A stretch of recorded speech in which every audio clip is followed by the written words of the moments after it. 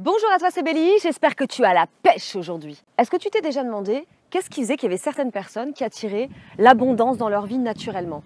Qu'il y avait des personnes où tu as l'impression en réalité qu'ils ont tellement de chance, mais tu te dis, mais merde, c'est quand mon tour? Là, maintenant, tout de suite, je vais te dévoiler le secret pour attirer l'abondance, parce que je fais partie de ces gens-là.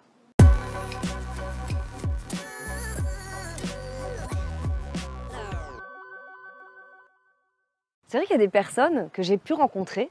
Je me demandais à l'époque, mais comment ils font pour attirer autant de chance? Bim, ils veulent quelque chose, quelques temps après, ils l'obtiennent. Le secret que je vais te donner, faut vraiment, vraiment l'ancrer. Au début, moi, je me disais, mais c'est dur de faire quelque chose quand on n'y croit pas véritablement. Eh bien, en fait, il faut le faire jusqu'à temps que tu y crois vraiment, vraiment, vraiment, vraiment. Encore une fois, comme les mythos, hein, quand ils disent mille fois le même mensonge, ils finissent par y croire. Et eh bien là, c'est pareil. La première chose pour attirer l'abondance et les choses que tu veux dans ta vie, c'est déjà d'accepter que ça ne vienne pas tout de suite. Quand tu veux quelque chose, être patient.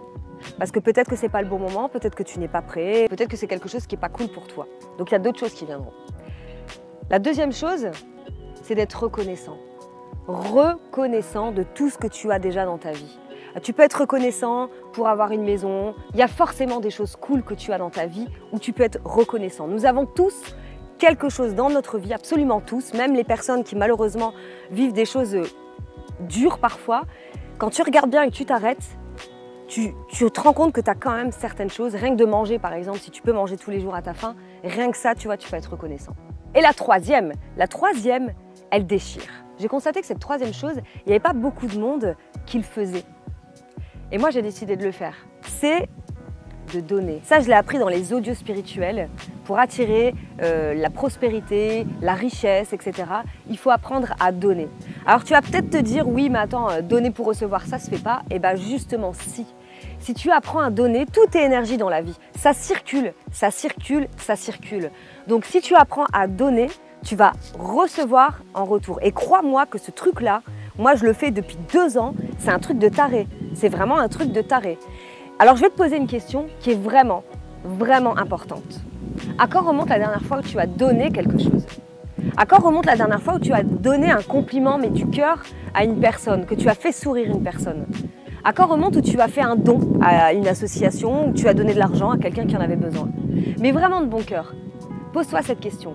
Je me l'ai suis posée moi il y a trois jours parce que j'ai réécoute souvent les mêmes audios parce qu'il y a toujours des petites choses qui vont m'échapper ou, des rappels je vais me dire merde c'est vrai que ça je, je le fais plus ou je le fais pas, je l'ai pas encore fait donc faut que je l'explore et donner ça faisait un moment que j'avais pas donné.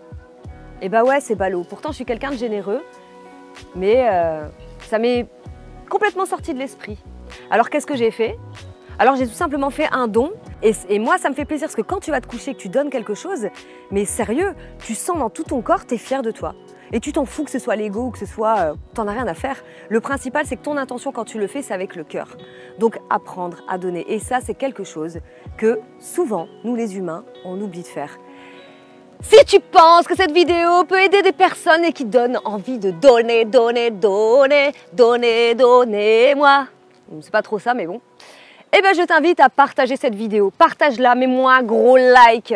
Là, tu vas me donner quelque chose. Et abonne-toi à ma chaîne YouTube.